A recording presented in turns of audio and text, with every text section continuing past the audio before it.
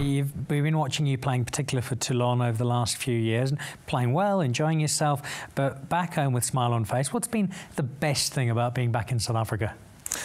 Um, brandewyn and braaivleis. it's, yeah, it's weird, but it, it's really it's. Uh,